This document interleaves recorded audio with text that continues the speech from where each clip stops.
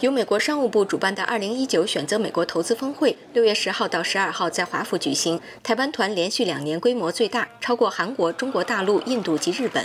美国商务部助理部长及国务院副驻青出席了台湾团欢迎晚宴。We are thrilled that the largest delegation is from Taiwan, and that is why I came here tonight. Yet another indication of the of Taiwan's commitment to the U.S.-Taiwan economic relationship. 目前美中贸易战形势严峻，台湾代表团团长政务委员邓振中表示，台湾企业正在重整全球布局，部分生产线必须离开大陆，其中很多企业回流台湾，也有的转向东南亚或投资美国。企业界现在普遍认为，大家要靠近市场，世界的市场还是在美国。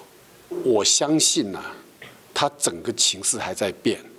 来美国的可能还会更多。邓振中表示，台湾在大陆投资最多的是电子与通讯产业，这是台湾最强产业，但也面临美国对华全面加征关税风险。一旦加税，必须要有快速处理。最近，美国将华为及相关企业列入黑名单，美英德日等国芯片和半导体大厂纷纷对华为断供。不过，台积电依然承接华为大笔订单，受到舆论关注。我们的企业界啊也很清楚这些法规是怎么规定的。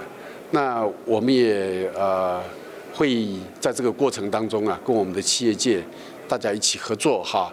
一个最重要的原则，绝对不能够违反美国的法规。